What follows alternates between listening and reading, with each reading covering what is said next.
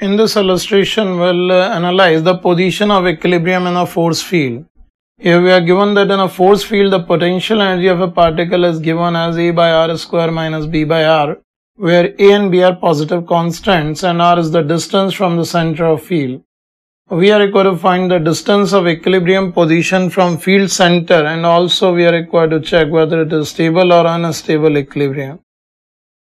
Here we can directly calculate the force on uh, particle can be given as this uh, magnitude of uh, du by dr and the direction would be minus r cap where r is the position vector of particle with respect to the center. Now in this situation if we differentiate it uh, to get the magnitude of this force uh, that can be given by minus 2a by r cube plus b by r square.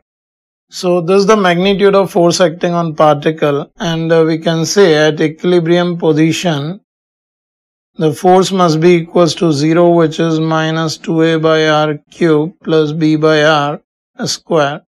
So on simplifying, we'll get the value of uh, position of equilibrium as 2a by b. That is one answer for this problem.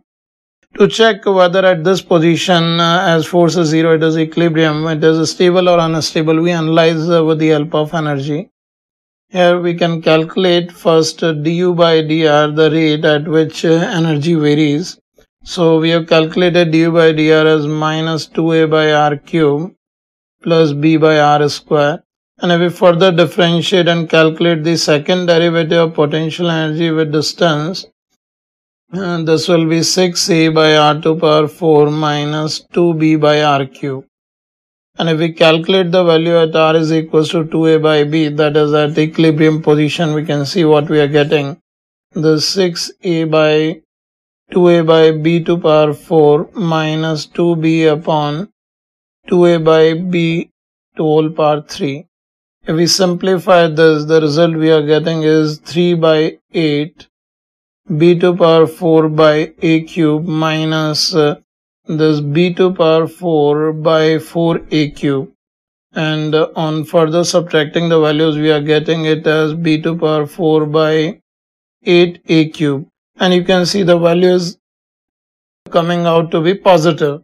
So if the second derivative of potential energy is positive, this implies here u is uh, minimum and uh, this will correspond to a stable equilibrium position.